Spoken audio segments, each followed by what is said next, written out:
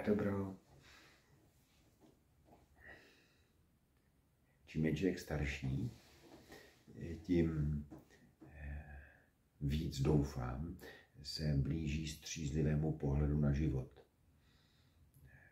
Tím častěji zahlédne nebo jasněji vidí, že mnohdy jsme my lidé obětí jistých sebeklamů, že máme potřebu věci vidět trochu jinak, než vlastně jsou, že nás to tak jako může trochu chránit, nebo tu sebeúctu, ty sebeobrazy, že máme takový trochu vyretušovaný a tak, nebo že něco nám může bránit v nás eh, vidět věci, jak jsou, že je potřebujeme vidět trochu jinak.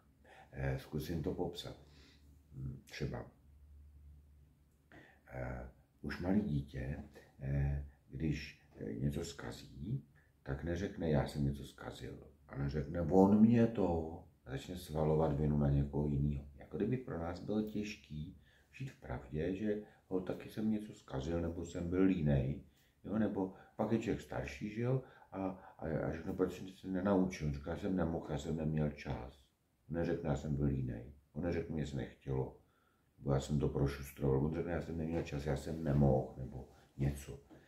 No a takhle půjdeme dál a dál a, a zjistíme, že i 60-letý člověk eh, taky se vymlouvá, proč něco udělal nebo neudělal, nebo eh, že prostě máme tendenci eh, sami sebe ospravedlňovat. To je třeba jeden z důvodů, eh, z příčin, ten strach, že nám někdo něco vyčte, nebo že to bude vypadat blbě, nebo a tak radši lžeme, kličkujeme, vymlouváme se, ospravedlňujeme se a pak tomu už i někdy sami věříme, že vlastně jako, nebo třeba znám lidi, kteří třeba mají hněv, zlobu, a já jim řeknu, no, tak to není dobrý se zlobit, já se ale musím zlobit, protože oni jsou takový. On je opravdu přesvědčený, že on se musí zlobit, že ta zloba za to nemůže vůbec, protože on se musí zlobit, protože oni jsou přece takový. Takže on za to vlastně vůbec nemůže a to není pravda. jo. A to je jeho zloba, to je jeho reakce na něco třeba nedobrého, ale je to jeho reakce, je to jeho zloba. No a, a postupně vzdalovat se od těch, z těch iluzí o sobě nebo takových eh, obrazů, eh, já tomu říkám sebeobrazy. A, eh, a, a ty se musí postupně z, jako zbořit, nebo prostě to vyretušování eh, pravdy, eh, prostě je potřeba sestoupit k pravdě, jít v duchu a v pravdě. A teprve tam člověk nalezne pokoj. Teprve tam člověk je v pravdě teda, jo. Klopotná cesta, není vůbec jednoduchá. Právě čím je člověk starší, tím má podle mě větší šanci eh, v těchto věcech jako dozrávat. Pokud spolupracuje s milostí, pokud je poctivý, pokud se snaží. No a já právě chci poukázat na ten aspekt, že mnoho e, příčin, proč my máme tendenci si žít v nějakých těch svých pravdách a svých obrazech o sobě, ale i o světě kolem nás, je vlastně nedostatek zkušeností s dobrotou Boha, nedostatek zkušeností s láskou Boha, nedostatek důvěry v to, že jsme milované děti, že je tu ta nejvyšší instance, která je ta úplně nejlepší ze všech.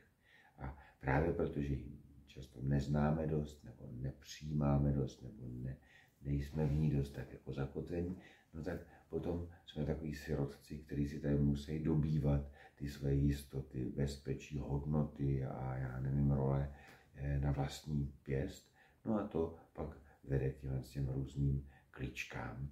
No, tak a to, kam já směřuju, je, že když já eh, se hlouběji zahledím, častěji zahledím, poctivěji zahledím do boží tváře, jaký skutečně Bůh je, nebo do své zkušenosti s Bohem, jak Bůh se mnou opravdu jedná, že je milosrdný, schovivý, laskavý, trpělivý, eh, prostě, že i když my jsme nevěrní, on je věrný a, a, a mohl by dál a dál takhle jako vykreslovat zkušenosti písma a žalmistů eh, právě eh, s Bohem, jaký je, hospodin náš, tak, tak vlastně zjistíte, že nemáme důvod tyhle škrabošky nosit. Nemáme důvod eh, eh, nebýt v pravdě. Či naopak, to vstoupit do pravdy je to nejlepší. Opak je lhá, lež, lhář, otec lži, víme, kdo je.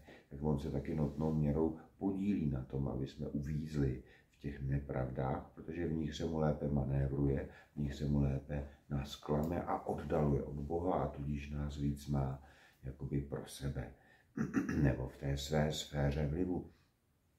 Tak tohle to mě napadlo, aby jsme se tak jako povzbudili v tom hledačství boží dobroty a lásky. Aby jsme se posílili v té důvěře, že nemusíme nic hrát. A to, čím bych chtěl zakončit, je, že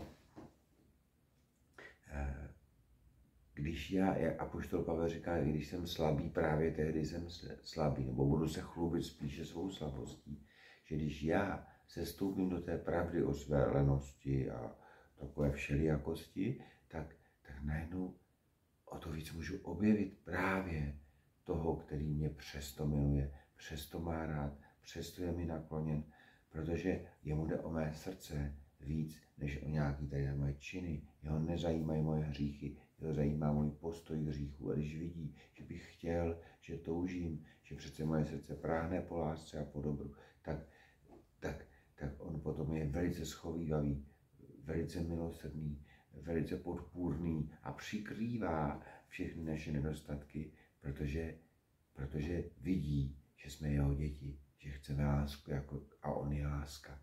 Tak to vám moc přeju, aby jsme si odpočinuli v pravdě.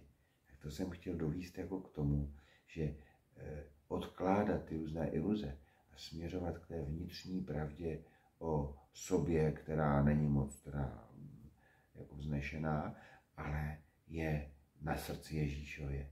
Jsme jeho ubohé, zraněné, někdy ztracené děti, ale jeho děti. A v tom nám může být dobře. Tam nalezneme pokoj, tam se rodí pravá radost a tam se rodí bezpečí. Tak ahoj.